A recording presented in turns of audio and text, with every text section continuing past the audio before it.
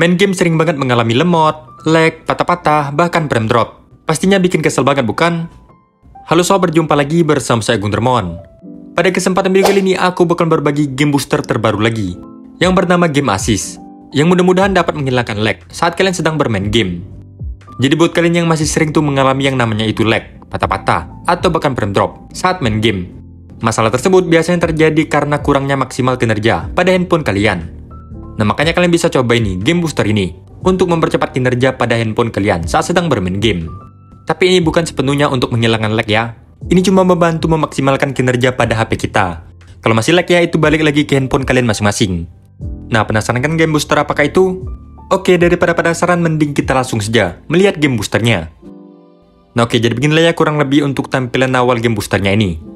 Oh iya, untuk downloadnya nanti bakalan aku jelaskan di akhir video nanti. Di tampilan awalnya ini kalian bisa tambahkan dulu ya, game-game mana saja yang mau kalian tambahkan di sini. Kalian pilih saja gamenya. Jika udah tap oke, nah nanti muncul di sini ya untuk daftar game-game yang telah kalian tambahkan tadi. Oh ya, ini juga bisa ya kalian atur menjadi vertikal seperti ini. Dan ubah lagi jadi horizontal seperti ini. Atau mungkin mau versi yang seperti ini.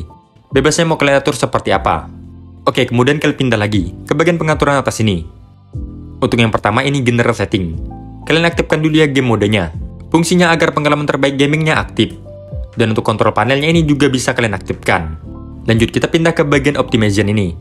Oke, untuk game boosternya ini kalian aktifkan fungsinya untuk membersihkan proses latar belakang secara otomatis untuk membatasi aplikasi agar tidak berjalan di latar belakang dan juga berfungsi untuk meningkatkan kecepatan CPU.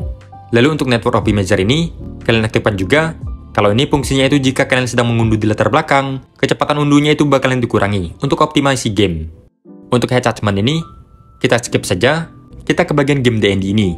Kalau ini itu di sini kalian bisa nonaktifkan, seperti notifikasi saat kalian sedang bermain game, lalu reject telepon otomatis, dan lainnya. Kalian bisa aktifkan saja sesuai selera kalian masing-masing. Oke, jika udah kita kembali saja. Lalu kalian pilih saja mau login ke game yang mana. Misal aku coba login ke game Mobile Legend. Nah, dia langsung otomatisnya login. Jadi setiap kalian login, kalian harus login lewat game booster ini terlebih dahulu. Nah, nanti saat kalian sedang bermain game, kalian bakal merasakan tuh perbandingan yang berbeda sebelum sudah kalian menggunakan game assist ini. Oh ya, untuk downloadnya itu linknya sudah aku sertakan di deskripsi. Setelah kalian download, kalian ekstrak dulu ya. Untuk passwordnya itu, selalu gunakan saja huruf kecil semua. So, buranda kalian download sekarang dan kalian cobain sekarang juga.